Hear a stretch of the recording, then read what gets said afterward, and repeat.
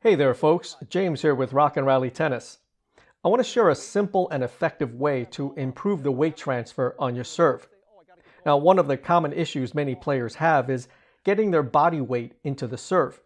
You know, I see a lot of players hit their serves using predominantly the arm and wrist, not effectively using their body weight, thereby leaving a lot of power and spin on the table.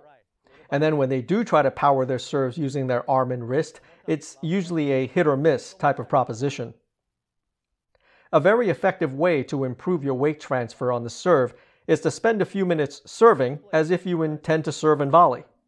Knowing that you need to quickly move forward towards the net upon hitting your serve, you will instinctively lean into your serve and get your body weight behind it without actually having to force the issue serve and volley for a few minutes, and then go and hit some serves without the volleying. In other words, stay at the baseline as you normally would.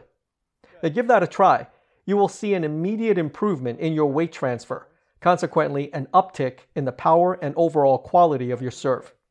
If you enjoyed this video, please click the like button and subscribe to our channel. Thanks for watching.